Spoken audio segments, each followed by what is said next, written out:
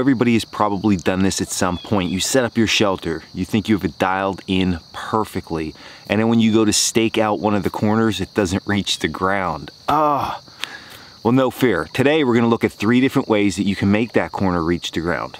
So the first way that we can combat this is to tie daisy chains on the four corners of our tarps. What that's gonna do is it's going to give us more length and more loops in order to be able to reach the ground. It's gonna take up that space and it has some adjustability here. You can pick whichever loop fits your need at the time. The only downfall with this is though you have these things tied onto your tarp and they're there pretty much all the time. So you, now you have to just deal with a little bit extra hanging off your tarp and not everybody likes that.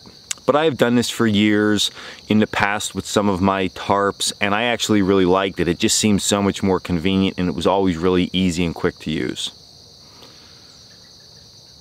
Straight lines.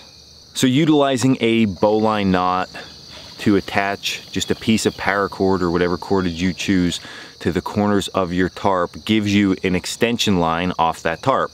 You can then take that line and tie it off to a tent peg wherever you need. So this gives you infinite amount of adjustment for your tarp when it comes to staking it out.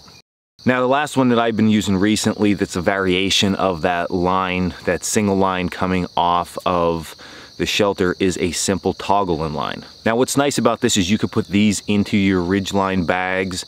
Um, so you have your tent pegs, your ridge lines, and then these toggle systems. If you get in a situation where you set your shelter up a little too high or you need to stretch out where you're actually gonna stake into the ground, you simply just pull this out, toggle it off to a corner, and then tie it off.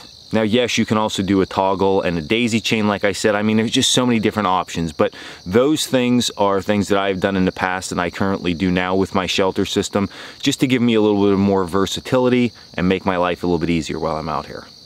So don't think the corner of your tarp not reaching the ground is only your problem. Everybody has it. And there's ways around it. There's ways to make your life easier with it. And here are three. So I hope you enjoyed this video. As always, check us out at coalcrackerbushcraft.com. And until next video, stay in the woods.